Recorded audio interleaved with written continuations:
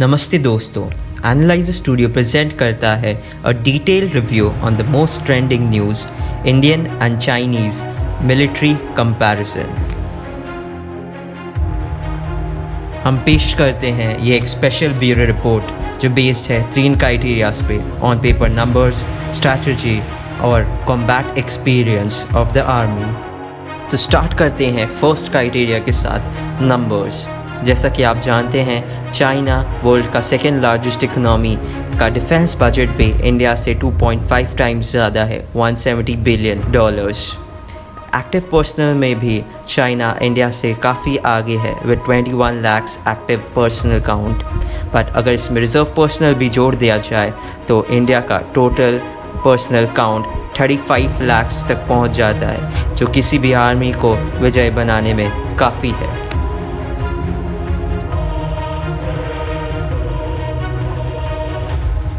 तो सेकेंड सब criteria the land forces जो किसी भी आर्मी का कोर माना जाता है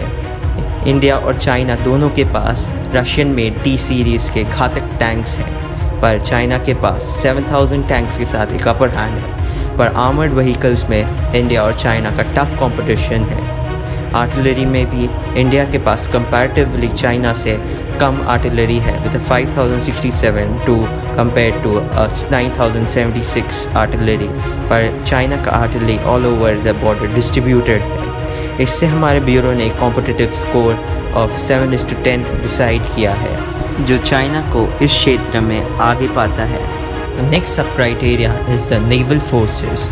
जिस कंट्री के पास ज़्यादा और स्ट्रॉन्ग फ्लीट होती है, उसे the king of the sea कहा जाता है। यहाँ पर भी चाइना के पास 780 नेवल शिप्स है कंपेयर टू इंडियाज 214 और चाइना के पास एक मेजर अपवर्ड पॉइंट है। इसके पास टू एयरक्राफ्ट कैरियर्स है। डिस्ट्रॉयर्स की बात किया जाए तो 11 डिस्ट्रॉयर्स इस टू 36 डिस्ट्रॉयर्स का रेशियो है और सबमरीज में भी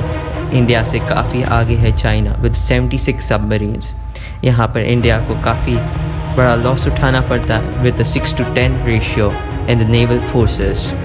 next sub criteria is the air force जिसे द एयर विजिलेंटे भी कहा जाता है।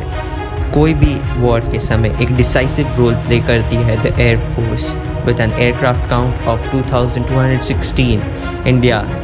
कोई स्टैंड नहीं करता है चाइना के 4000 एयरक्राफ्ट के आगे। दोनों के पास मल्टी रोल और फाइटर एयरक्राफ्ट के काफ़ी बढ़िया नंबर हैं। पर चाइना के पास मैनी इंडिजीनियस मेड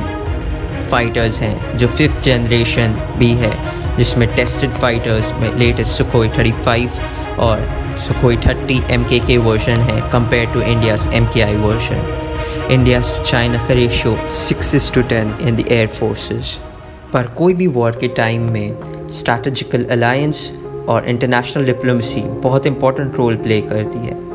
हम कंट्रीज़ के respective international heads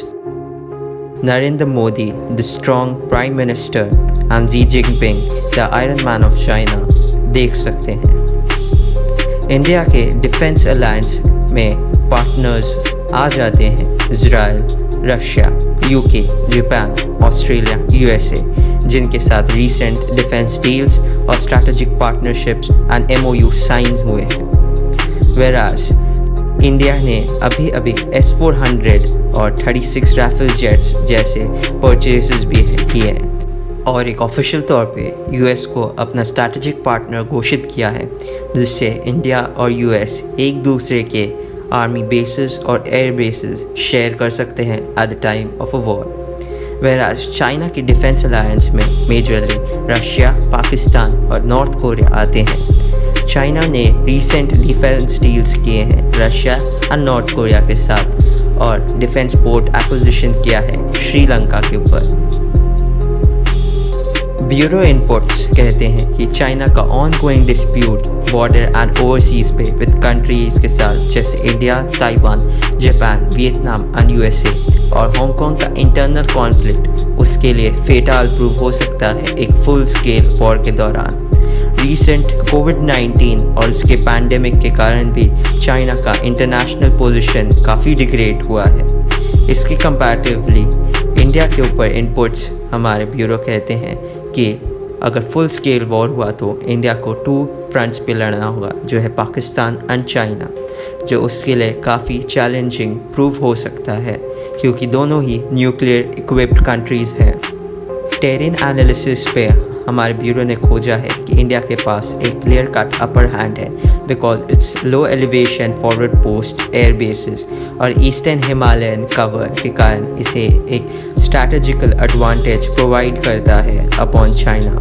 bureau report का एक की पॉइंट है पर्सनल टू बॉर्डर रेशियो जिसमें चाइना का स्कोर है 153 और इंडिया का 273 इसका मतलब ये है कि पर किलोमीटर ऑफ़ बॉर्डर पे चाइना डिप्लॉय कर सकता है 153 पर्सनल वेराज इंडिया 273 पर्सनल के साथ जस्ट डबल चाइना का डिप्लॉय कर सकता है at the time of a war तज एक ओवरऑल कैलकुलेशन के हिसाब से हमारे ब्यूरो ने इंडिया और चाइना को स्ट्रैटेजिकल इम्पोर्टेंस में 10 इस टू सिक्स का रेशियो दिया है कोई भी आर्मी के लिए एक्सपीरियंस बहुत इंपॉर्टेंट है तो हमारा third criteria the combat experience में इंडिया के वॉर लॉग में हम देखते हैं 1947-48 Kashmir war 1962 Sino India war जिसमें इंडिया ने अपना अक्साई वाला चीन वाला पार्ट खो दिया था। 1964 the Indo Pak war 1967 the Indo Sino conflict जो नथुला पास पे एक शॉर्ट टर्म कॉन्फ्लिक्ट था 1971 बांग्लादेश वॉर जिसमें इंडिया वर्सेस पाकिस्तान का वॉर था direct and China war log में आ जाता है। 1950 Korean war 1962 Indo Sino conflict 1967 Sino India conflict and 1979 Sino Vietnam war recent wars में चाइना के पास एक बहुत लैकिन एक्सपीरियंस है, जिसके कारण इंडिया का एक अपर हैंड दिख मिलता है। Strong experience in counter insurgency और प्रिसीजन स्ट्राइक्स में। जो रिसेंट हम पूरी जैसे सर्जिकल स्ट्राइक और बालाकोट एयर स्ट्राइक्स में देख सकते हैं। इसको कंपेंसेट करने के लिए चाइना ने रशिया के साथ time to time joint military exercise किया है। कॉम्बैट एक्सपीरियंस में एक बहुत इम्पोर्टेंट रोल प्ले करता है आर्मी का करेज और उसका एवरेज एज जिसमें इंडिया का average army age is thirty years और उसका वर्ल्ड का सबसे लार्जेस्ट सेल्फ वॉल्टियर्ड फोर्स है। इसके कंपेयर चाइना के पास हाईएस्ट एक्टिव पर्सनल्स है comparative ratio of India China combat experience 10 is to eight का आता है दस एक फाइनल वर्डिक के तौर पे हम कह सकते हैं कि चाइना अपने नंबर्स और इकोनॉमिक पावर से इंडिया को जितना भी प्रेशराइज करे